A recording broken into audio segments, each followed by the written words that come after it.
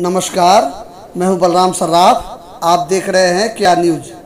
आप हमसे जुड़े, हम आपको करवाएँगे समाचार एवं अन्य जानकारियों से रूबरू। नर सेवा, नारायण सेवा के तहत मधुबनी शहर में समाज सेवियों के सहयोग से चल रहा है जनता किचन।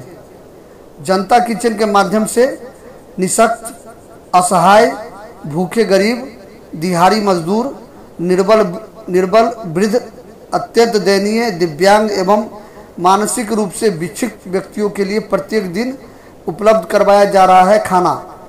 अब तक करीब पैंतीस हज़ार से ऊपर खाना के पैकेट का किया जा चुका है वितरण। समाचार विस्तार से।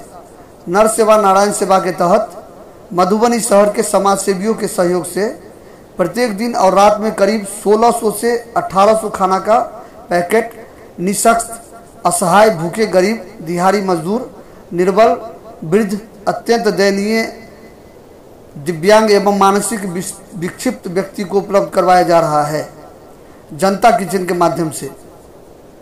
अब तक करीब पैंतीस हज़ार से ऊपर खाना का पैकेट का वितरण किया जा चुका है, ज़रूरतमंद लोगों के बीच।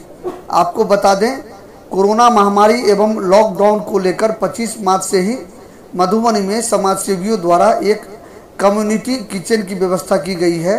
इस किचन की शुरुआत मधुबनी के युवा समाज सेवी अभिषेक कुमार अजय धारी सिंह, अमित कुमार महासेठ, सुरेश बैरोलिया, इंद्रभूषण रमन एवं अमित राउत ने संयुक्त रूप से की थी।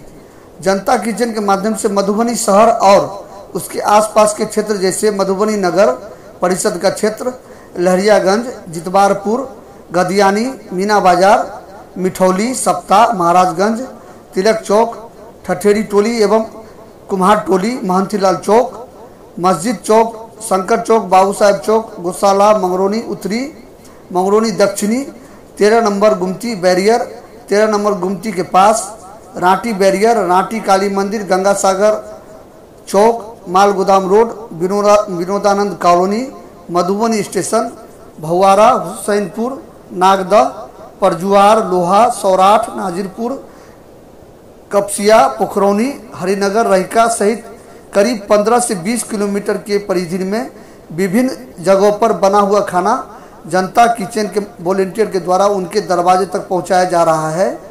खाने की गुणवत्ता एवं स्वच्छता को कायम रखने के लिए इसे अल्मुनियम कंटेनर में पैक किया जाता है।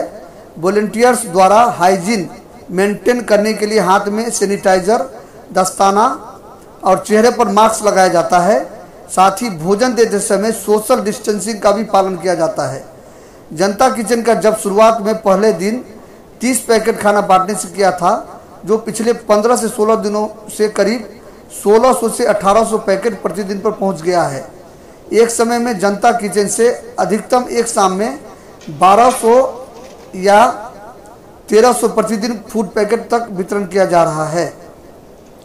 जनता किचन को चलाने के में शहर के समाजसेवी दाता सामाजिक संगठनों का कर्म जुड़ाव होता गया जिसमें मधुबनी नगर विधायक समीर कुमार महासेठ सप्पू बैरोलिया गौतम कुमार मनीष महासेठ प्रेम कुमार बैरोलिया केशव कारक मिथिलेश महासेठ विनय बुबना विनोद पमनानी नंद कुमार बुबना हेमंत चौधरी रविशंकर मिश्र गोपी Bubna Vivek Kumar Umashankar Pajiyar Pramod Kumar Dharm Prakash Karn, Sachindra Sahu, Pawan Chaudhary, Rajkumar Bubna Shankar Sarraf, Prakash Raut, S N Lal, Vinay Kumar, Mohammad Faiyaz, Manish Kumar, professor Rekha Singh, professor Sadhvi Kumari, professor Meena Jha, professor Bhawna Jha, doctor Vinay Raut, Marwari Mahila Manch, gurdwara प्रबंध Samiti club Madhubani, Sukhdev Raut, गुरु शरण सर्राफ, समीर मिश्र, पिंटू पटवा अभिषेक कुमार, पंकज कारक, विश्वनाथ कारक, बबलू सिंह, अजय कुमार,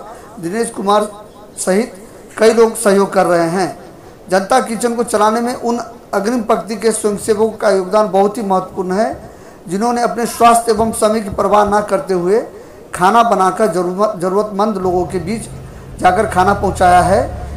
वे हैं कमलेश कुमार झा, अशोक पूर्वे रोहित कुमार झा, पप्पू यादव, राजू झा, सागर झा, अमित बारी राकेश कुमार झा, आदित्य सिंह, रतन चौधरी, आलोक कुमार ठाकुर, रविशंकर, अजीत कुमार झा, तुल्हा खान, बिट्टू कामत, शशि शेखर झा, गगन कांत झा, शंकर प्रसाद, सौरभ कुमार मिश्रा, मुन्ना ठाकुर, रतन झा, अकबर, सोनू झा, धीरज भगत, सुबोध कुमार, विवेक चौधरी, मोहम्मद सौबिक, आफ्ताब, सुलेमान और अन्य लोगों के सहयोग से ये कम्युनिटी किचन चलाया जा रहा है।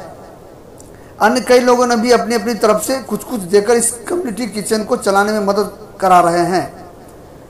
ताकि इस कम्युनिटी किचन से लोगों को इस महामारी के कारण हुए लॉकडाउन में दो वक्त भोजन की व्यवस्था कर सके हैं। मधुबनी शहर के समाज सेवियों दाताओं एवं सामाजिक संगठनों द्वारा जनहित में किए जा रहे इस नेक कार्य के लिए लोगों ने धन्यवाद ज्ञापन किया है।